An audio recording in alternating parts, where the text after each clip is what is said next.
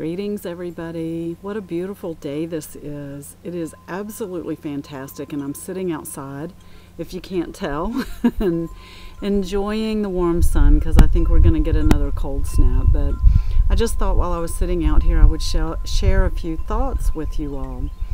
Um, one of the things that came up in our circle gathering today that was very interesting um, was a thought was the um, conversation about our um, our ideas and our thoughts and our beliefs. And you know how we can change these old beliefs that we have about ourselves and move into a new way of being. Sometimes these old limiting beliefs um, that we may have picked up in childhood or something that someone may have told us, you know, just along the way, along our um, our life path, that um, you know somehow we we really internalized and we took in and we and we began to hold it as a belief.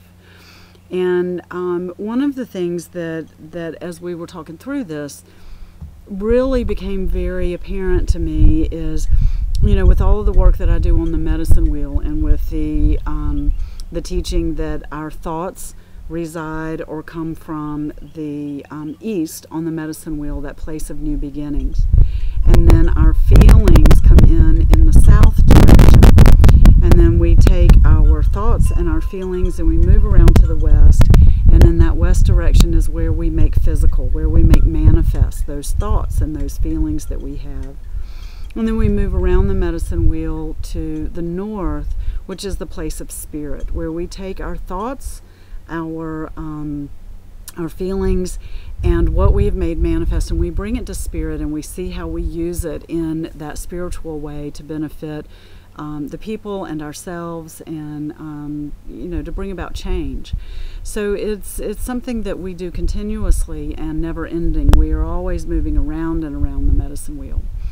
Um, and one of the things that um, that I realized this morning as we were talking about it is, you know, I have always said that, um, you know, our thoughts have power and our thoughts are things and our thoughts become things.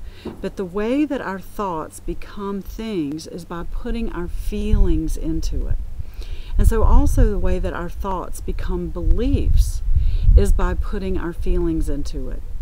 So when we think when we think that thought, we have a choice in that moment to either let it go as not part of who we are, not part of the truth of who we are, or we can put our feelings into it and then we internalize it and we accept it as truth.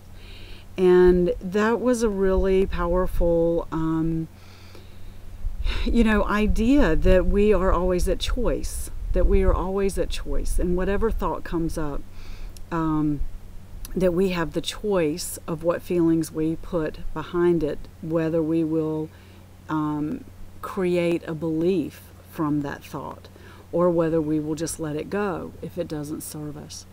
So there's power behind that. There's power in that knowing that we have a choice. And um, um, jo- uh, Joseph, who is Trey's son, um, just turned 16 years old and is very wise beyond his years, as they say. Um, as all of the adults were sharing, um, you know, our thoughts and our feelings and our insights around this, he picked up the talking stick and he said something that was actually very profound. And I want to share that with you. He said that our thoughts are something that we control, that we create, that we control. Our beliefs are something that can control us. It was very powerful and very profound.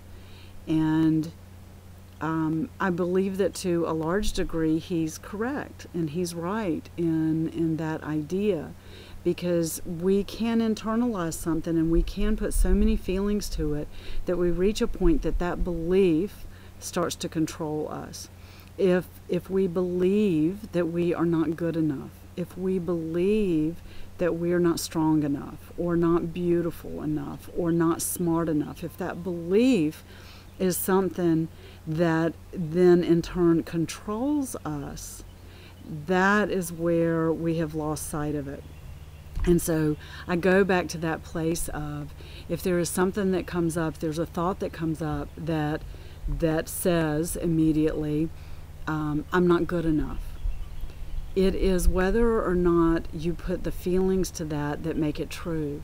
It's the feelings that you put behind that, I'm not good enough, that make it true and that make it a belief. And then when it does become that kind of a belief, it does in turn control us. So that was very powerful and very, um, very insightful. And I know that that's something that I will be um, pondering for a while and thinking about and just seeing how that um, shows up in my life and how that that shows up you know outside in other ways. So i just wanted to share that with you all. So i hope you have a wonderful monday and i send you all many blessings and big love. Mwah.